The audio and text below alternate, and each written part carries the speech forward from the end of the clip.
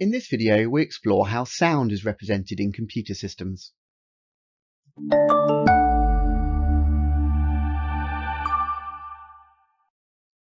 Sound is a vibration that propagates as an audible wave of pressure through the air.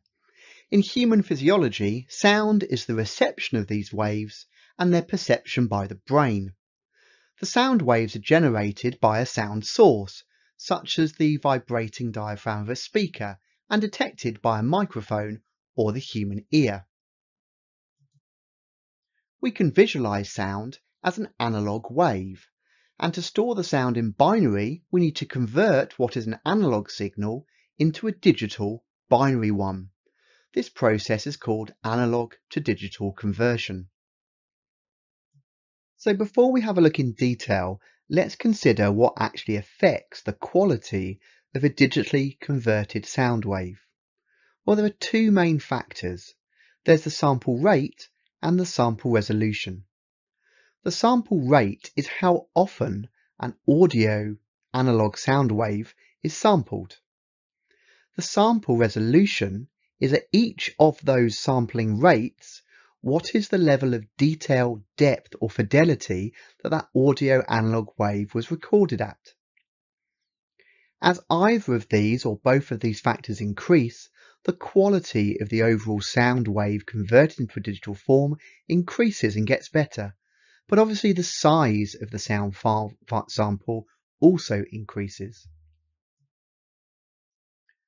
The whole sound is known as a sound sample and it's converted to binary by taking a measurement of the wave at regular intervals. Those regular intervals, represented by the grey vertical lines, happen many times a second and are known as the sample rate, which we measure in hertz.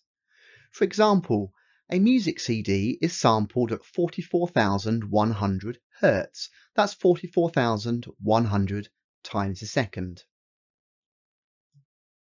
The greater the number of samples per second, the higher the quality the sound will be, but also the larger the file size as we're storing more data per second. So sample resolution represents how many different gradations of amplitude can be represented in a digital waveform. In other words, the amount of information we store with each sample. Now we measure this in bits so you could have a sample resolution of say 8 bits.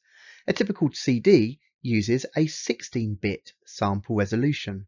And that means that every time it takes a sample of the analog waveform, it's taking up and storing in 2 bytes. But each of those can store one of 65,000 different amplitudes. So on our diagram on the left, we can see our original analog waveform represented by the grey line and we have a 2-bit sample resolution. Now, if we're only using 2 bits, the maximum variations in the difference of sound we can sample is obviously only 4, storing these as 0, 1, 2 or 3. So you can see we get quite a rough digital interpretation of the original analog sound. If we doubled this sample resolution to 4 bits, well, with a combination of 4 bits, we can have up to 16 combinations represented on the left axis by 0 to 15. So yes, we've doubled the amount of information we're storing with each sample, but the accuracy of our digital waveform compared to the original analog one is much better. You also need to be able to, in the exam, figure out or calculate the file size of a sound sample. And this is done by the formula the number of samples per second, so the sample rate, times by the number of bits per sample, the sample resolution, times by the length of the sample in seconds. So if we take the example of the graph shown on the left, we have a sample rate of 6, 6 hertz.